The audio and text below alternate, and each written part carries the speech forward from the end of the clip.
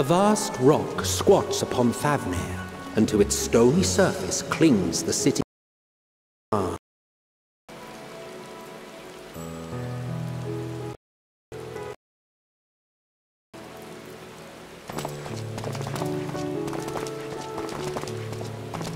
Ye who enter here are subject to the scrutiny of the gods, the gate's most watchful eye.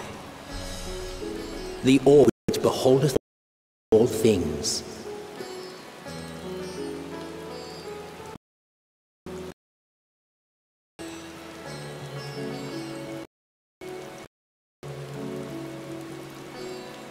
Pass beneath its hot and piercing gaze, bearing down like a second midday sun.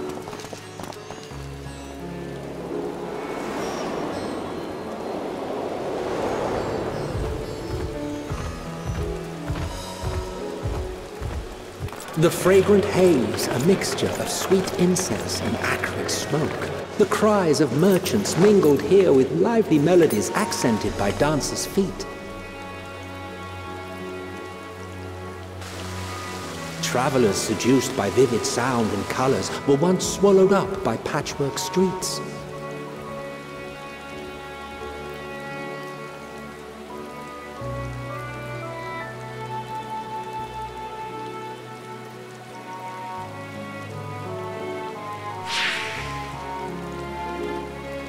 But no such scenes to savor now. To what somber present does that divine eye bear witness?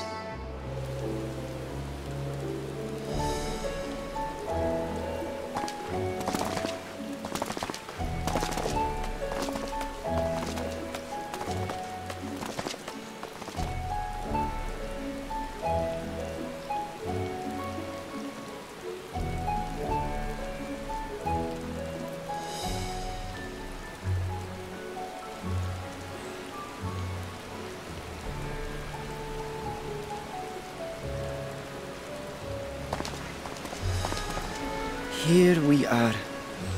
Meghaduta.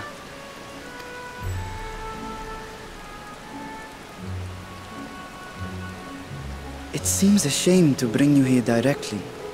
Under normal circumstances, it would have been my pleasure to show you the sights. And it would have been our pleasure to see them. Alas, it seems our tour of the city will have to wait. I'm afraid so. Come. We should head inside.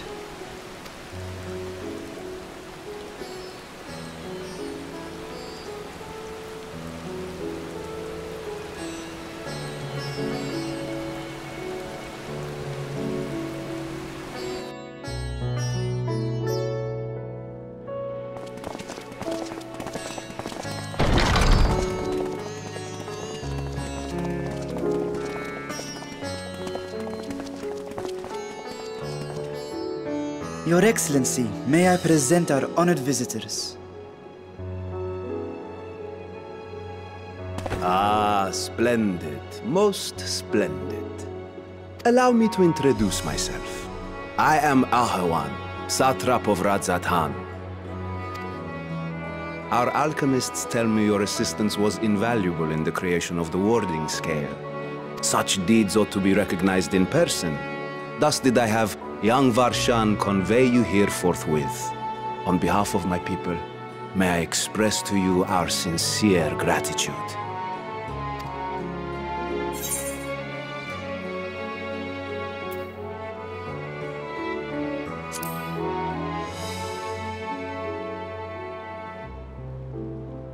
I assume you speak of Nidhana. A regrettable incident indeed. Her colleagues insist that we honor her wishes and trust in the talisman, that it will be instrumental in saving Nidhana and the others. I am eager to hear your opinion on the matter, so let us not stand on ceremony. Come, sit. I think not.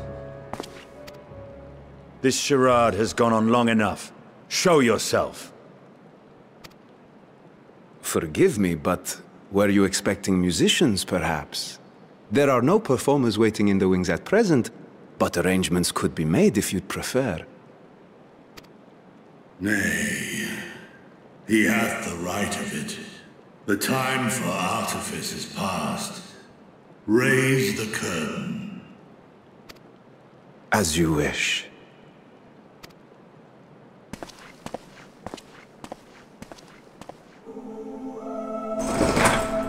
You travel as assistants to the students of Valdesian, but you are known to me.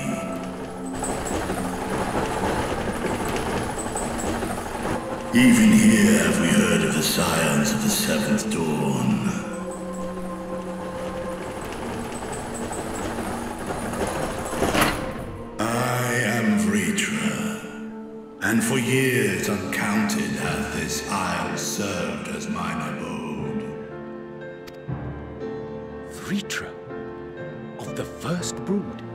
sibling to Hraesvelgr and Nidhogg. I, mine elder brothers, of Midgardsormr's spawn, I was last to hatch. Well, isn't this a surprise? We were told Radz-at-Han had an alliance with the dragon. Not that a great worm sat in the satrap's own hall. A necessary subterfuge, as the true tale of our nation history illustrates most effectively. In the beginning, the rock upon which our city is built was home to Vrtra, and Vrtra alone. In time, the ancestors of the Matanga came to the island and established a foothold. But never did they dare disturb the worm's lair. Next to arrive with the Au Ra, adopting the example of their Arkasodara allies, they too treated Vrtra with reverence and respect. And for many years, an understanding between our forefathers and the Great Worm endured. Until marauding heroes from the mainland came, threatening to shatter our peace and tranquility. When it seemed all would be drowned in blood, Vrtra himself came forth and quelled the rising conflict. A peaceful accord was reached, and oaths sworn in Vrtra's name. Thus began the dragon's governance of the fledgling state, which was to grow into Radz at Han. But if Vrtra is still here, then your position as Satrap is just... A charade, yes. And one which my family has performed faithfully for generations.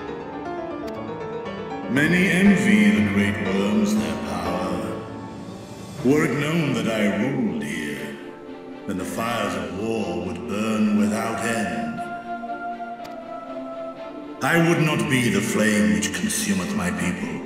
Those few who join me in laying our country's foundations were, perforce, sworn secrecy. Your eye. It was taken.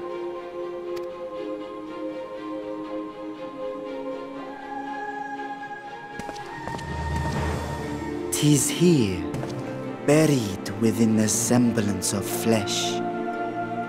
The body before thee is but a simulacrum, constructed by the finest artisans of Radz-at-Han. With mine eye nestled within, it doth serve as an inconspicuous vessel for my will. That would explain why I felt the presence of a dragon upon our first meeting. I am woven with words fashioned to deceive such arcane senses. Though 'twas short-lived, it seemeth thy fusion with my brother hath left thee much altered. Estinian warm blood.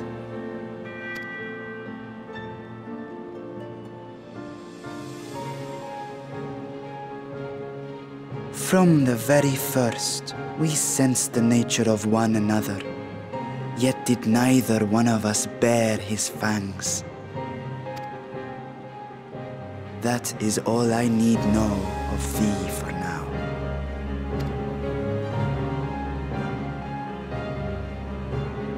With my secret thus revealed, I have for you a proposal. Not as a worm of the first brood, but as the ruler of Rads With all haste must we take in hand the finished talismans and breach this foul spire. Thence, should it lay within our power, dispel its wicked influence. Yet even with the assurance of the warding scales, the narrow confines of the tower doth limit the size of our force. And thus denied strength in numbers, thou must choose thy soldiers with care. Just so. Yet though our radiant host is formidable, I see a surer path before me. Thou and thy comrades have contended with a multitude of primal beings. Most recently, thou didst cast down false gods in Pagalthan and Cartanau, I am told. Tis upon that strength I would call. The Scions have proven themselves the most capable, and I ask that you serve as the tip of our spear. Talismans would, of course, be provided for each of thy companions. And should you agree to this undertaking, more will be provided to make use of as you see fit. There's no denying it's a dangerous proposition, but the rewards may far outweigh the risk. Just think of what we might accomplish if we could equip all our allies with warding scales. I worry, however, that even the four of us may be too few for what you have in mind. Might we regroup with our friends first to discuss the matter? Tis no trifling task that I have laid before you. Go. Steel your hearts and hone your plans. Such time as you require shall be spent in crafting your protective charms. It seems a quick trip back to Sharlayan is in order.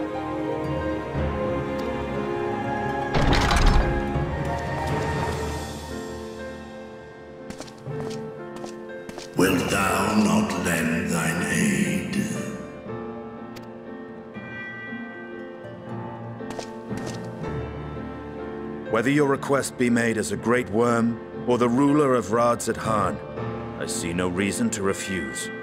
Nor will I.